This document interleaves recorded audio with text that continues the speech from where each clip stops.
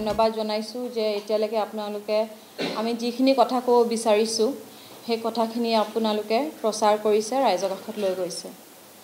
ভাৰতবৰ্ষত আমি মহিলাক দেৱীৰ স্থান দিওঁ। আমি লক্ষী কওঁ সৰস্বতী কওঁ। আৰু যেতিয়া দৰকাৰ পৰে তেতিয়া এগৰাকী নাৰী দুৰ্গাও হ'ব লাগে। কিন্তু আমাৰ সমাজ ব্যৱস্থাও এনেকুৱা হয় কি যেতিয়া নাৰীয়ে দুৰ্গা হ'বলগীয়া হয় বা নাৰীয়ে যেতিয়া নিজৰ ওপৰত হোৱা হাৰাছমেণ্ট বা অবিউজ বা টৰ্চাৰ সেইখিনি বিষয়ে যেতিয়া ক'বলৈ যায় তেতিয়া কিন্তু নাৰীৰ ওপৰতে প্ৰশ্ন কৰা বেছিভাগ মানে বেছিভাগ লোকে নাৰীৰ ওপৰতে প্ৰশ্ন কৰে এইটো মই দভাৱে অনুভৱ কৰিছোঁ। কংগ্ৰেছ পাৰ্টীয়ে মোক বহিষ্কাৰ কৰিছে এই সিদ্ধান্ত কংগ্ৰেছ পাৰ্টীৰ হয়। আৰু এই সিদ্ধান্তই মোক যথেষ্ট আঘাতো দিছে। আমাৰ পৰিয়ালৰ ফ'ৰ জেনেৰেশ্যন কংগ্ৰেছ দলৰ লগত জড়িত হৈ আছিলে সম্পৰ্ক আছিলে সেই যিটো ৰিলেশ্যনশ্বিপ আমাৰ পৰিয়ালৰ কংগ্ৰেছৰ লগত সেইটো মই বুজিও পাওঁ। সেই তাৰ প্ৰতি মোৰ জিম্মেদাৰীও আছে দায়িত্বও আছে আৰু সেই দায়িত্ব মই পালন কৰি আহি আছিলোঁ আৰু ভৱিষ্যতৰ দিনতো কৰি যাম বুলি মই আশাবাদী পাৰ্টীয়ে কিছু সময় পিছত নিজে অনুভৱ কৰিব কি যি মই ইছ্যু উঠাইছোঁ যিকেইটা মুদ্দা মই উঠাইছোঁ সেইকেইটাৰ সত্যতা আছে সেইকেইটা সত্য হয় আৰু সেই কথাকেইটা এই ইছ্যুকেইটা এই মুদ্দাকেইটা ৰাইট হয়। হিন্দীত এষাৰ কথা আছে সত্য কো পৰেশান কিয়া যা সকতা হে লেকিন সত্য কো পৰাজিত নেহি কিয়া যা সকতা যদিও দলে আমাক বহিষ্কাৰ কৰিছে আমাৰ বিশ্বাস যে যেতিয়া সত্য কথাখিনি প্ৰমাণিত হ'ব আমি যিখিনি কৈছোঁ দলে মোক ভুল বুজিছে দলৰ কিছুমান নেতাই মোক ভুল বুজিছে সেইসকলে সময়ত গম পাই যাব কি মই যিখিনি কথা উত্থাপন কৰিছোঁ যিখিনি মই কথা কৈছোঁ সেইজন সেইখিনি দলৰ ওপৰত নহয় কেৱল এজন ব্যক্তিৰ ওপৰত। এজন এনেকুৱা ব্যক্তি যোনজন ব্যক্তিয়ে মহিলাক সন্মান কৰিব নাজানে। দেশৰ বিভিন্ন জেগাৰ পৰা আমাৰ কংগ্ৰেছ দলৰ নেতা কৰ্মকৰ্তা আৰু মোৰ নিজৰ কলিগছ ফিমেইল কওক মেইল কওক মোৰ লগত হোৱাটছএপৰ যোগেৰে ফোনৰ যোগেৰে যোগাযোগ কৰিছে। আৰু মোক মেণ্টেলি ছাপৰ্টো কৰিছে। কিন্তু তাৰ মাজতো কিছুমান আছে যিসকল শ্ৰীনিবাসৰ ইনষ্ট্ৰাকশ্যনছত যিসকল পেইড ছ'চিয়েল মিডিয়া ৱৰ্কাৰ্ছ সেইসকলে মোৰ ইমেজটো মেলাইন কৰিবলৈ চেষ্টা কৰি আছে।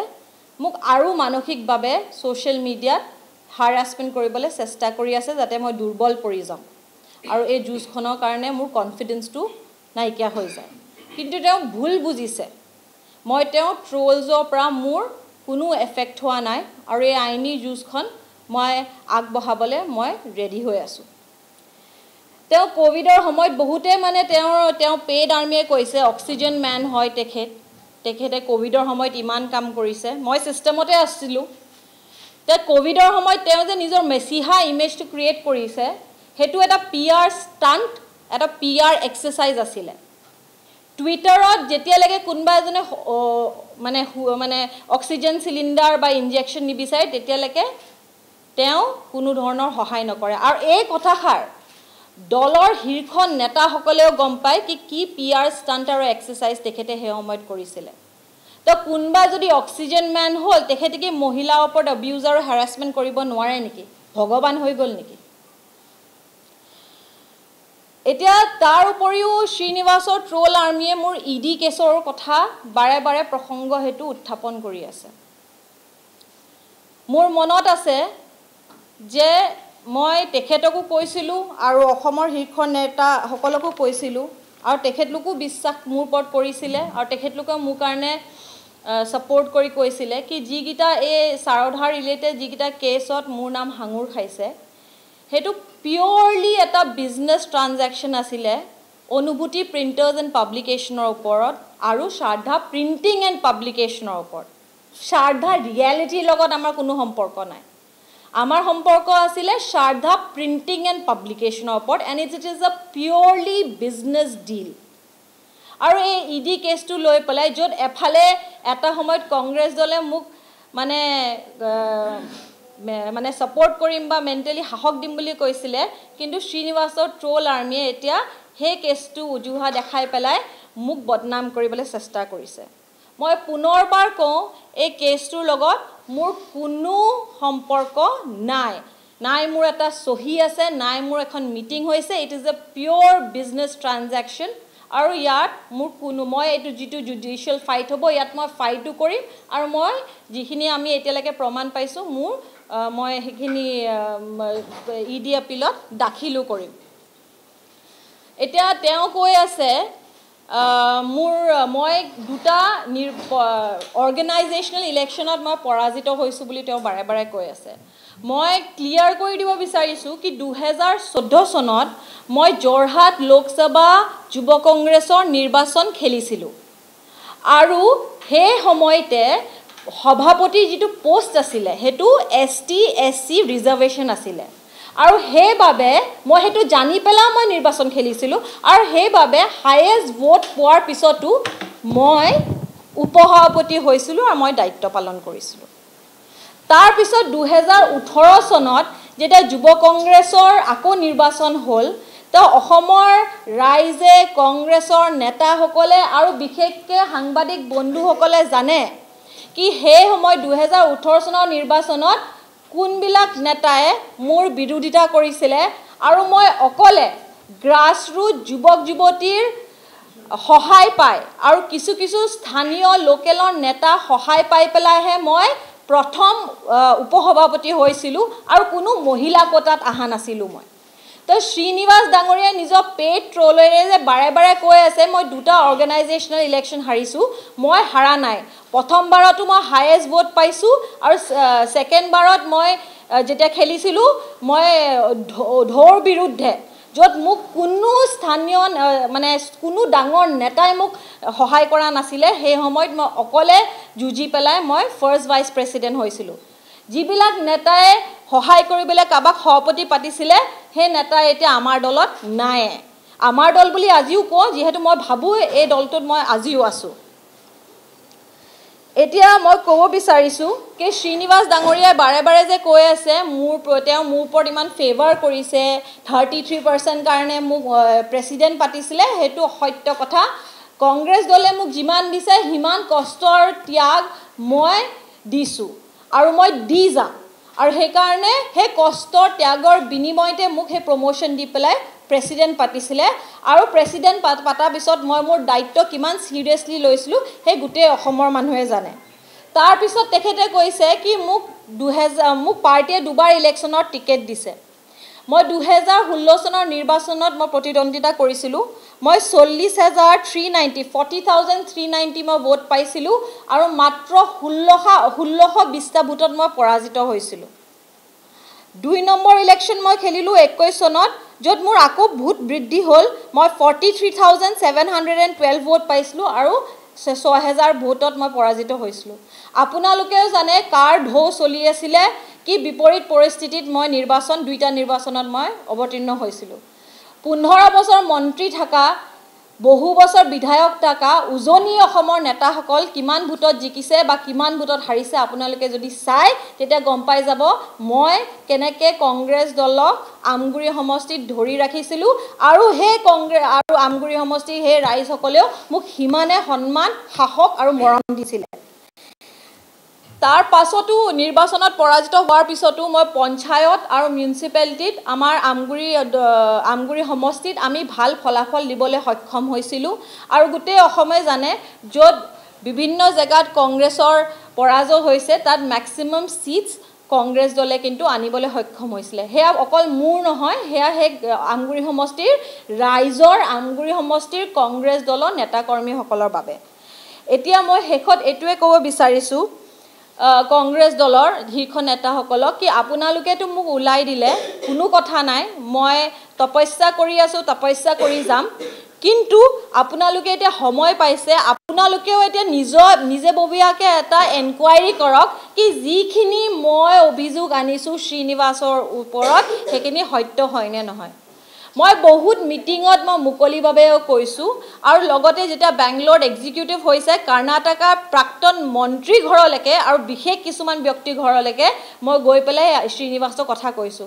সেইকাৰণে আজি সেই লিডাৰসকলে মোৰ বিৰুদ্ধে একো ক'ব পৰা নাই যিহেতু মই ভিক্ষা খুজিছিলোঁ তেখেতলোকৰ আগত কি মোক সহায় কৰক।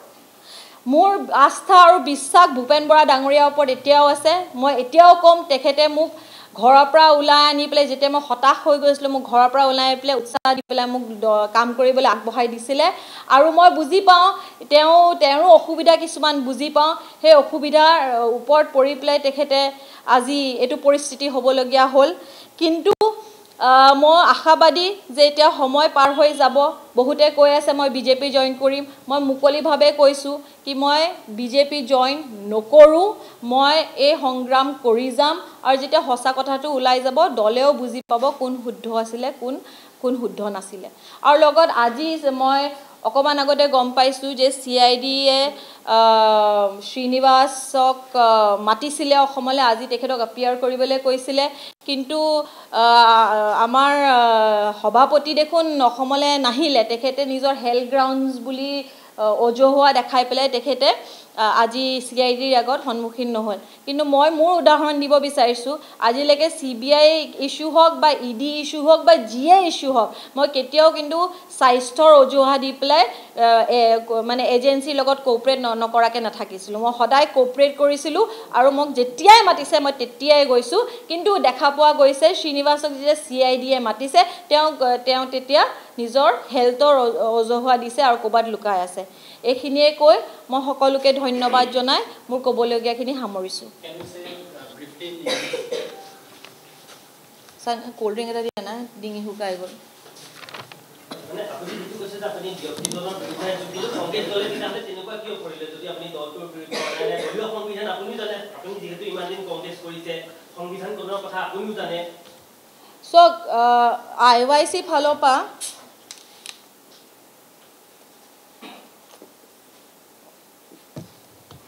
শ্ৰীনিবাসৰ ফালৰ পৰা আই ৱাই চিৰ ফালৰ পৰা বাৰে বাৰে এনেকুৱাকৈ মোক প্ৰজেক্ট কৰা যায় কি মই বিজেপি বিজেপি যাম বিজেপি যাম। মোৰ মনত আছে যেতিয়া ছেপ্টেম্বৰ দুহেজাৰ বাইছ চনত মোৰ কমিটিখন মই তেওঁলোকৰ আগত দাখিল কৰিছিলোঁ যে মই কমিটিখন মোৰ ৰিলিজ কৰি দিয়ক তেতিয়াও তেখেতলোকে মই শুনিব পালোঁ কি মোৰ কমিটিখন এইকাৰণে দিয়া নাই কিয় কি মোৰ মই মানে হেৰি পাৰ্টি এৰি যাম। তো সদায় শ্ৰীনিবাসে এইটোৱে দেখাই আছিলে। কি মই পাৰ্টি এৰি যাম পাৰ্টি এৰি যাম পাৰ্টি এৰি যাম। আৰু সেইবাবে দেখা গৈছে কি দিল্লীত এনেকুৱা এটা বুজোৱা হ'ল কি অংকিতা দত্তই পাৰ্টি এৰি যাব. In English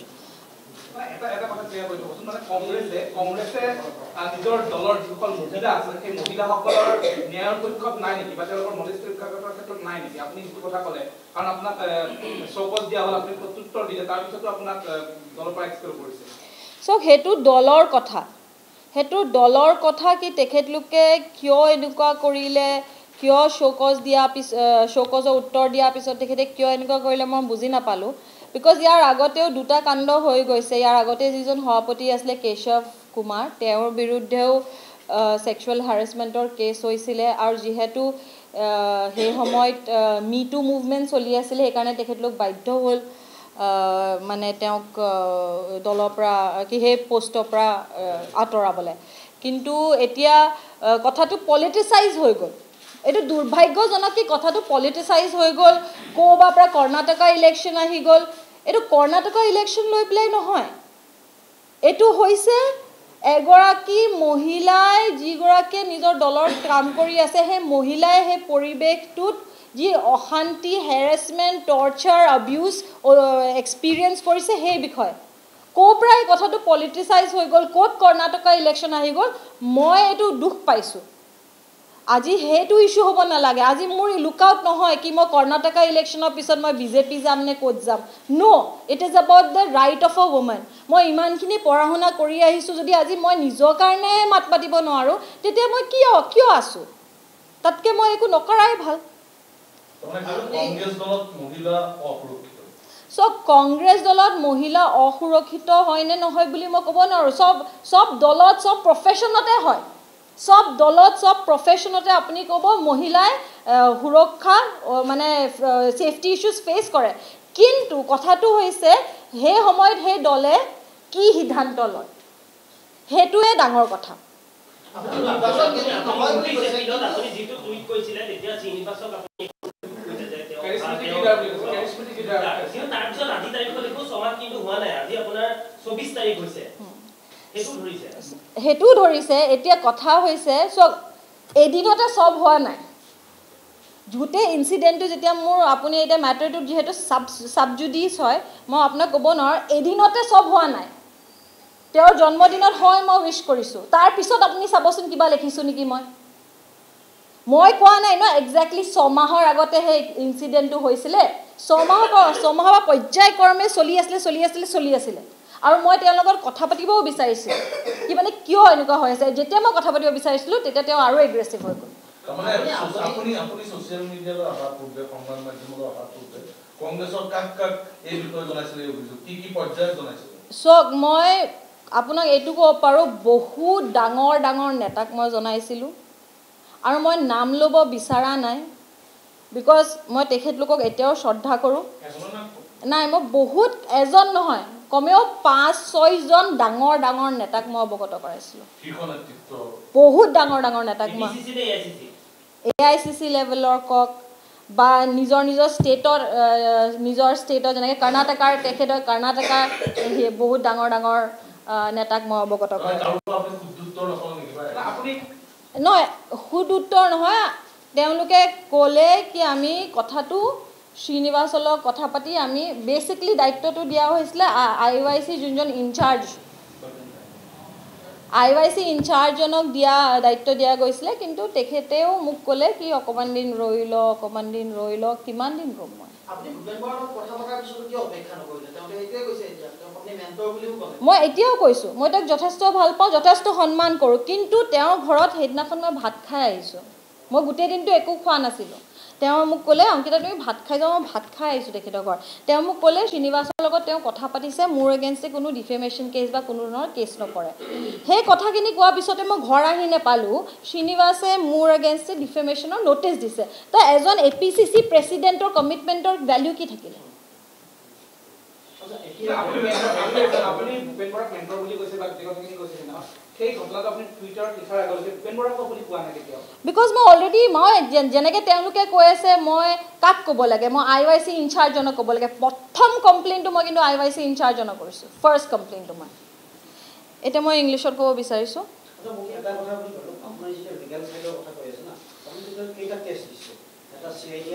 C I D কেছটো মই দিয়া নাই। সেইটো এন চি ডাব্লিউৱে ডিৰেক্ট কৰিছে চি আই ডিক মই এজেহাৰখন দিছপুৰ পুলিচ থানাত দিছোঁ।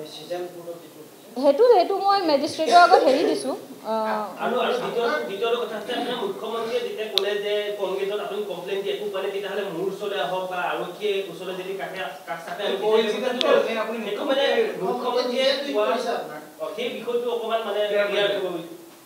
চাওক সেইটো যিহেতু মই এই কমপ্লেইনটো পাৰ্টি ফ'ৰামত কৰি আছিলোঁ। আৰু পাৰ্টি ফ'ৰামত কৰাৰ পিছত মই টুইটাৰত এইকাৰণে কৰিছিলোঁ যাতে সেইটো এটেনশ্যনটো গ্ৰাব কৰে শীৰ্ষ নেতৃত্বক সেইকাৰণে মই টেগ কৰিছিলোঁ ৰাহুল গান্ধী প্ৰিয়ংকা গান্ধী কে চি বেণুগোপালক। সেইকাৰণে মই টেগ কৰিছিলোঁ যাতে তেওঁলোকৰ ন'টিছত আহে। নহ'লে ন'টিছতে অহা নাই নে কি হৈছে মই বুজি পোৱা নাই। সেইবাবেহে মই কৰিছিলোঁ। তাৰ লগে লগে বোলে সেইদিনাখনে সিদ্ধান্ত হৈ গ'ল কি মানে মোক মানে হেৰি কৰিব লাগে আঁতৰাব লাগে। তাৰপিছত যেতিয়া ভূপেন দাৰ লগত কথা পাতিলোঁ ভূপেন দাই মোক এইখিনি আশ্বাস দিলে তাৰপিছতো নহ'ল তাৰপিছত মই ভাবিলোঁ দেৰ is no' other way I have to go' to the police তো সেইবাবেহে এইটো যোৱা হ'ল। এইটো ৰাজনীতি মাৰপেক আহ, এইটো ৰাজনীতি এইটো সেইটোৱে হৈছে এইটো ৰাজনীতিত কেনেকৈ হৈ গ'ল সেইটোৱে মোৰ দুখ লাগিছে। যিহেতু এই কথাটো দলৰ ভিতৰত এনকুৱাৰীৰ ভিতৰতে হৈ গ'লহেঁতেন কিন্তু তেওঁলোকে এনকুৱাৰী কমিটিয়ে হেৰি কৰিব নিবিচাৰিলে। আপুনি আছিলে। নিৰ্বাচন অনুষ্ঠিত হৈছিলে। কাৰণে আপুনি যথেষ্ট ক্ষুণ্ণ হৈ আৰু নিৰ্বাচন অনুষ্ঠিত হোৱাটো আপুনিও বিচৰা নাছিলে। ইয়াৰ পাছতেই গোটেই যিখিনি আচলতে যিখিনি ৰাজনীতি যথেষ্ট আৰু চাপ আপোনাক চাপ সৃষ্টি চাওক আপোনালোকে মই যদি মোৰ কিছুমান পুৰণা টুইটো চাব ন মই দিব পাৰোঁ আপোনালোকক। বহুত আগতেও মই নাম নোকোৱাকৈ মানে মই কৈ আছিলোঁ কি মানে মহিলাৰ কাৰণে ৰাজনীতি ৰাজনীতিত কাম কৰিবলৈ বহুত দিগদাৰী হয়। বহুত অসুবিধা হয় ডিচিশ্যন মেকিঙত বহুত বাধা হয়। সেই সেই কিছুমান আপোনালোকে টুইট চাব বহুত দিন কিন্তু মই নাম নোকোৱাকৈ কৈ আছিলোঁ। তেতিয়া সেইকাৰণে এইটো ইলেকশ্যনৰ লগত জড়িতই নাই। মোৰ টেনিয়ৰ শেষ হোৱা নাই তেওঁ মোক আঁতৰাব বিচাৰিছে ভেৰি গুড আৰু অকল কেৱল মোৰ লগত হোৱা নাই নহয় কৰ্ণাটকাৰ দুগৰাকী তেওঁৰ নিজৰ হোম ষ্টেটৰ দুগৰাকী ভাল মহিলা কাম কৰা মহিলাক তেখেতে উইদাউট ৰিজন আঁতৰাই দিলে। কেৱল কৰ্ণাটকা নহয় কৰ্ণাটকা ৱেষ্ট বেংগল ছত্তীশগড় তেনেকুৱা বহুত মহিলা আছে আৰু বহুত মহিলাই তেখেতৰ এগেইনষ্টে কমপ্লেইনো কৰিছিলে কি তেখেতে আনজাষ্ট ৱেইট ডিছক্ৰিমিনেট কৰি পেলাই তেখেতে তেওঁলোকক উলিয়াই দিছে। আৰু এই এইটো তেওঁ যেতিয়া লাষ্ট মানে without any rhyme and reason কোনো কজ নিদিয়ে। কি আপোনাৰ এইটো কজ আপোনাক সেইকাৰণে আঁতৰোৱা গৈছে। Without any cause and reason তেখেতে বহুকেইজনী হাৰিয়ানা কওক ছত্তীশগড় কওক ৱেষ্ট বেংগল কওক আৰু কৰ্ণাটকাৰ ভাল কাম কৰা মহিলাক আঁতৰাই দিছে।